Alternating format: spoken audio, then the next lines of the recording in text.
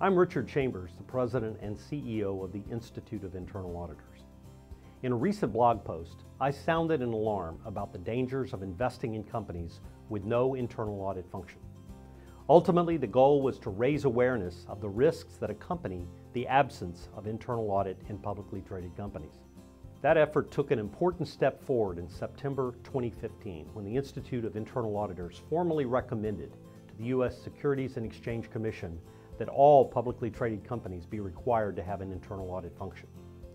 There has been a number of high-profile financial and corporate governance scandals of late that should hammer home the absolute necessity of good corporate governance and it should go without saying that internal audit adds value to that process by providing effective oversight of the control environment.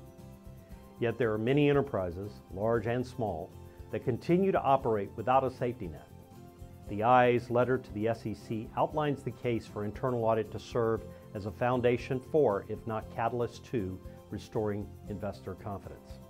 Indeed, the presence of an effective internal audit function signals unequivocally management's and the board's support of strong and effective risk management, internal controls, and governance. When a publicly traded company has no internal audit function, one must ask who is providing the independent and objective assurance and insight the board needs to determine how well risks and the mitigating controls are being managed? This may sound self-serving, but if only management provides that assurance, the board is likely operating with a severe handicap. We've seen too many examples lately of management's influence contributing to a toxic corporate culture that can and does destroy shareholder value.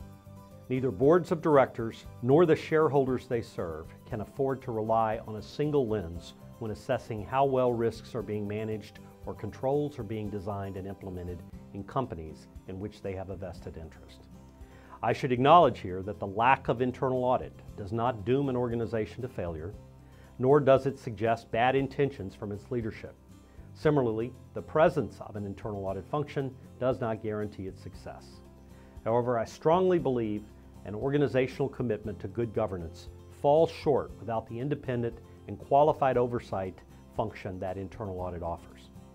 Organizations operate in a global marketplace that is dynamic, fast-moving, technology-driven, and as competitive as ever.